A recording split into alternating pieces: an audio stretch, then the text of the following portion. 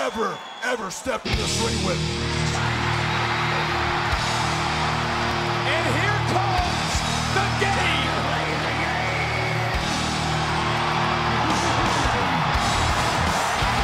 And there's absolutely no doubt how much the World Wrestling Federation title means to Triple H.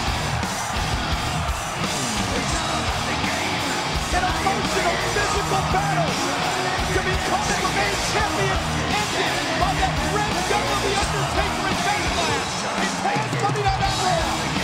a raging, a crazed maniac, Triple H, attacking The Undertaker and leaving The Undertaker in a pile, a puddle of his own blood. But Cole was kicking the whole deal is the game is a SmackDown guy, and he went forced his will on The Undertaker on Raw last Monday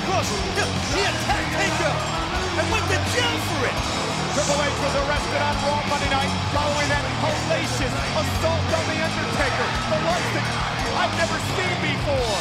From the ring, through the arena, through people, to the parking garage. a hell of a fight.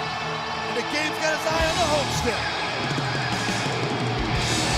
It was a hell of a fight Sunday at Backlash between Triple H and Hulk Hogan.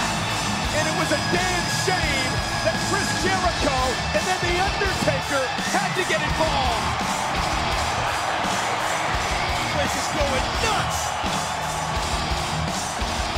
Showing respect to a man Triple H who was a first-class champion. And the Hulkster hasn't taken his eyes off the game. But what about the, the class of the champion Hulk Hogan?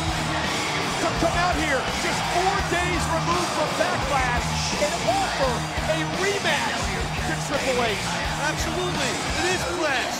Hogan knows the game is the best in the business. And he wants to give another opportunity.